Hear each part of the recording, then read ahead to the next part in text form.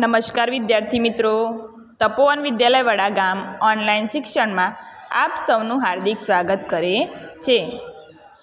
આજે આપણે ધોરણ સાત, ગુજરાતીમાં એકમ ચાર, બે ખાનાનો પરિગ્રહ, એનો અધૂરો રહેલો અભ્યાસ આજે પૂરો કરીશું. તો આપણે અગાઉ જોઈ ગયા કે બાપુ અને મનુબેન પટનાથી દિલ્હી જતી ટ્રેનમાં બેસે છે.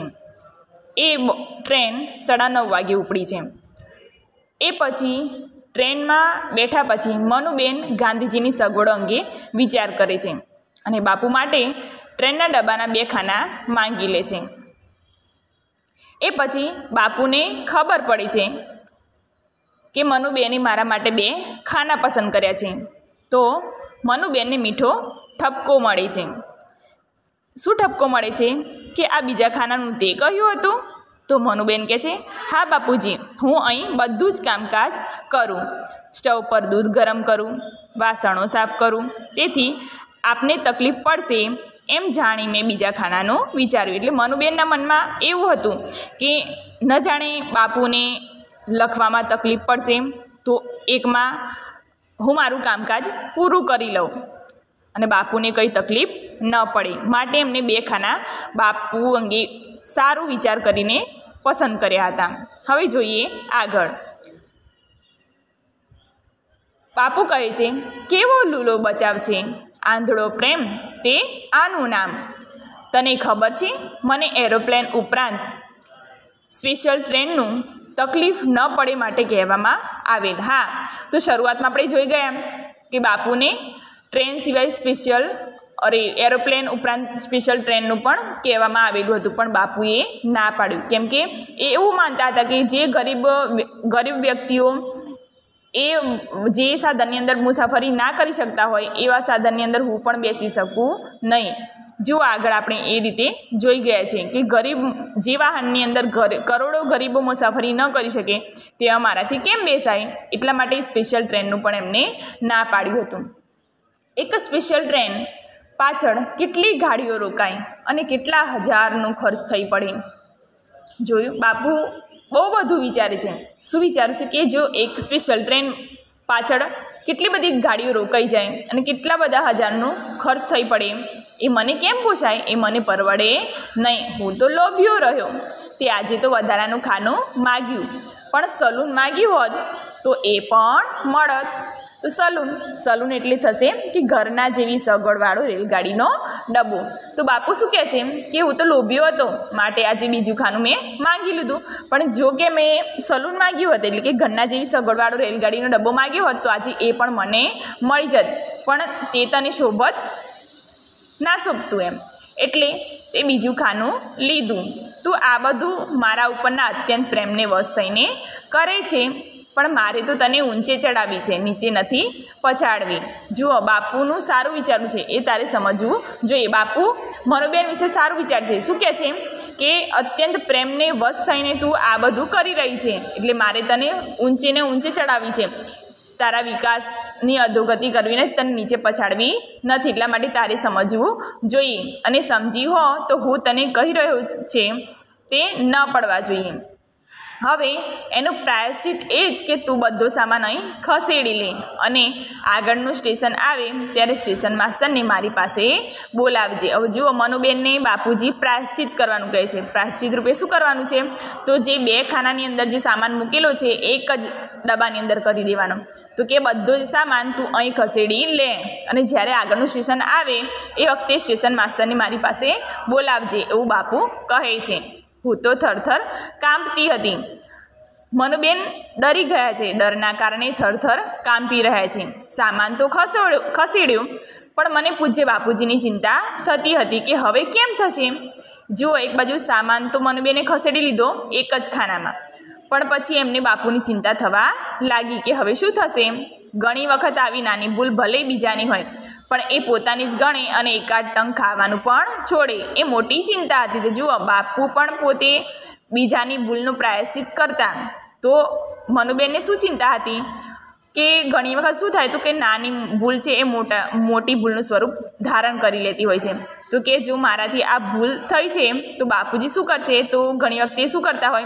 તો કોઈકની ભૂલને બીજાની, જે બીજાની ભૂલ છે પોતાની માનીને શું કરે? તો એક ટંક ખાવાનું પણ એ છોડી દેતા. તો મનુબેન માટે આ ચિંતાનો વિષય હતો. વળી ટ્રેનમાં લખવાનું, વાંચવાનું, માટી લેવાનું, કાંતવાનું મને ભણાવવાનું વગેરે બધું જ કામ. જેટલું ઘરમાં બેઠા કરવાનું રહે, તેટલું જ ટ્રેનમાં મુસાફરીમાં પણ ચાલુ રહે. હવે જુઓ, કેટલું કામ હતું ટ્રેનની અંદર. તો કે લખવાનું કામ કરવાનું, વાંચવાનું કરવાનું, માટી લેવાનું, કાંતવાનું, ભણાવવાનું મનુબેનને ભણાવવાનું. આ બધું જ કામ જેટલું ઘરમાં થતું હોય એ બધું જ કામ આ ટ્રેનની અંદર મુસાફરી દરમિયાન પણ ચાલુ હતું. અંતે સ્ટેશન આવ્યું. બાપુજીએ સ્ટેશન માસ્તરને બોલાવ્યા. જુઓ, આગળ જેમ કીધું હતું કે સ્ટેશન આવે ત્યારે સ્ટેશન માસ્તરને બોલાવવાના તો હવે સ્ટેશન આવ્યું એટલે બાપુજીએ શું કર્યું તો સ્ટેશન માસ્તરને બોલાવ્યા. એણે એને મારું પરાક્રમ કહ્યું કે આ છોકરી મારી પૌત્રી છે, પણ બિચારી ભોળી ભલી છે. હજુ મને કદાચ સમજી નહીં હોય. તેથી જ આ બે ખાના પસંદ કર્યા. હવે મનુબેનનું પરાક્રમ કયું હતું? તો એક ખાનાના બદલે બે ખાના પસંદ કર્યા. તો એ પરિચય આપતા કહે છે કે શું કહે છે કે આ છોકરી મારી પૌત્રી છે. અને કેવી છે તો કે ભોળી અને ભલી છે. એકદમ નિર્દોષ છે અને કે હજુ કશું સમજી શકતી નથી. એટલા માટે એને આ બે ખાના પસંદ કર્યા છે. તો કે એમાં એનો દોષ નથી, દોષ મારો જ જુઓ, મનુબેનની ભૂલને પણ એ પોતાની ભૂલ ગણવે છે. એટલે કે છે કે એ મનુબેનની ભૂલ નથી, એમાં મારી જ ભૂલ, મારો જ દોષ છે. મારી કેળવણી એટલી અધૂરી હશે ને મારી કેળવણી એટલી અધૂરી હશે ને? એમ કરીને પ્રશ્નાર્થ કરે છે. હવે મારે અને એણે બંને પ્રાયશ્ચિત કરવું રહ્યું. જુઓ, બંને ભૂલનું પ્રાયશ્ચિત કરવાનું કહે છે. એટલે આ ખાનું ખાલી કરી નાખ્યું છે. તેનો ઉપયોગ તમે વધારાના પેસેન્જર લટકે છે તેને માટે કરો. અને તો મારું દુખડવું થશે. જો પ્રાયશ્ચિત રૂપે બંને ડબ્બો તો ખાલી કરી જ નાખ્યો. પણ શું કહે છે આગળ? કે જે પેસેન્જરો અત્યારે હાલ લટકી રહ્યા છે ટ્રેનની અંદર, તો કે એના માટે આ જે ડબ્બો ખાલી કર્યો છે, એનો ઉપયોગ કરો. તો જ કે મારું દુખડવું થશે. સ્ટેશન માસ્તરે ઘણી આજીજી કરી. પણ બાપુજી, ક્યાં માને તેવા હતા? સ્ટેશન માસ્તરે ત્યાં સુધી કહ્યું કે હું એ લોકો માટે બીજો ડબ્બો જોડાવી દઉં. જુઓ, આજીજી કરવી, એટલે કે વિનંતી કરવી સ્ટેશન માસ્તરે, બાપુજીને ખૂબ જ, આજીજી ખૂબ જ વિનંતી કરી, પણ બાપુજી માને એવા નહોતા.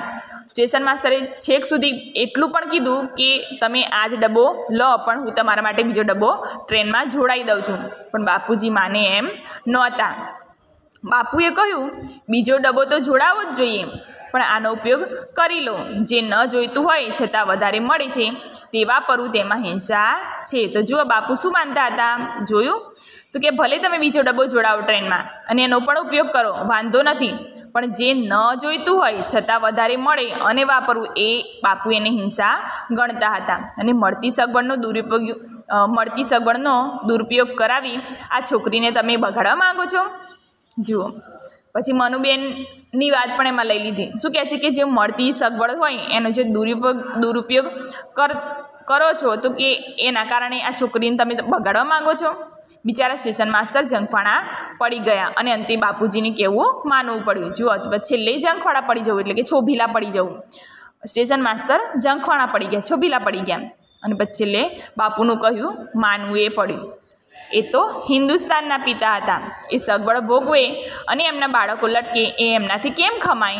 એટલે લટકતા લોકોને જગ્યા મળી અને મને જીવનમાં અમૂલ્ય પાઠ મળ્યો કે મળતી સગવડનો ઓછામાં ઓછો ઉપયોગ કરવો. તો જોયું, એ કોણ હતા બાપુ? તો હિન્દુસ્તાનના પિતા સમાન હતા. આખા હિન્દુસ્તાન માટે જે એમને બલિદાન આપ્યું છે એ બીજું કોઈ ના આપી શકે. માટે હિન્દુસ્તાનના પિતા છે. શું કહે છે કે એ સગવડ ભોગવે અને એમાં બાળકો લટકે, એમનાથી ખમાય, ના ખમાય. એ પોતે સગવડમાં રહે, સારી સગવડ, સારી સુખમાં રહે અને પોતાના બાળકો એટલે દેશના જે સંતાનો છે, અત્યારે હાલ ટ્રેનની અંદર લટકી રહ્યા છે, તો કે એમનાથી જુવાય, ના જોવાય. અને એટલે શું થયું તો કે લોકોને જગ્યા મળી.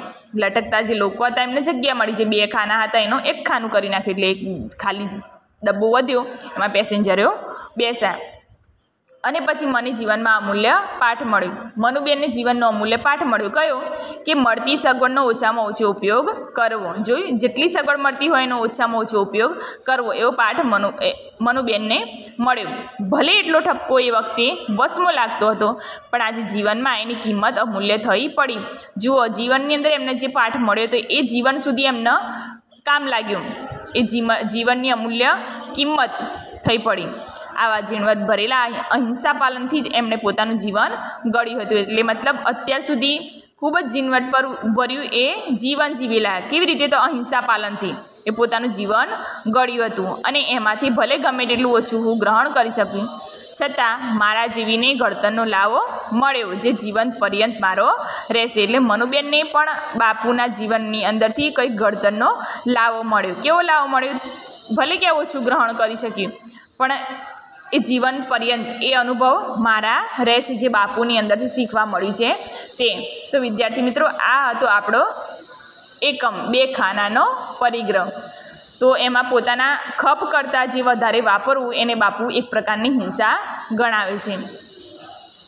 અને આમ આ એકમ અહીંયા આપણો પૂરો થાય છે. હવે આ એકમમાં આપેલું સ્વાધ્યાય તમારે ઘરેથી લખવાનું રહેશે. અભ્યાસ અને સ્વાધ્યાય બંને ચોપડાની અંદર લખવાનું રહેશે. તો ચાલો આજ માટે આટલું પૂરતું છે. નમસ્કાર.